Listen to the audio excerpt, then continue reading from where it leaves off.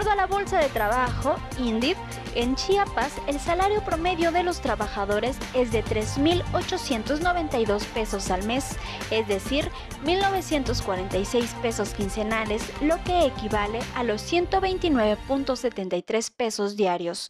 Sin embargo, hay personas o familias que ganan más del salario mínimo o más de un integrante labora para contribuir en los gastos. Sin embargo, esta información salarial es una estimación a partir de 108 fuentes obtenidas directamente de las empresas, usuarios y empleos de dicha bolsa de trabajo en los últimos 36 meses, siendo su última actualización el 24 de julio de este año.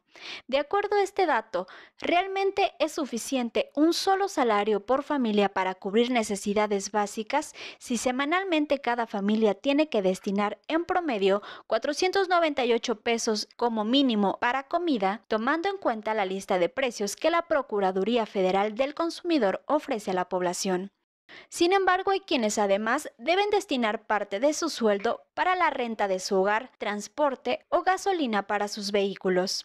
Es decir, mensualmente cada familia debe destinar más de 5 mil pesos para solventar gastos de alimentación, transporte y vivienda, sin tomar en cuenta gastos de esparcimiento. Es por ello que cada vez es más frecuente ver el incremento de pequeños negocios informales, pues las familias buscan estrategias para solventar dichos gastos. Para Mega Noticias, Lisbeth Leite.